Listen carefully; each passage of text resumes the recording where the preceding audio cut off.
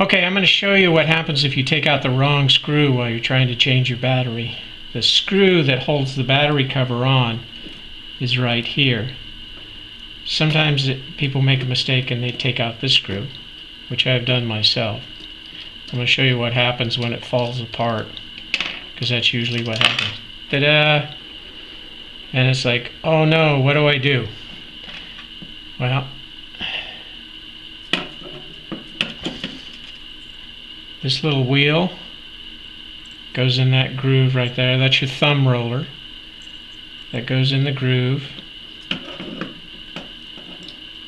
Just set it back in there.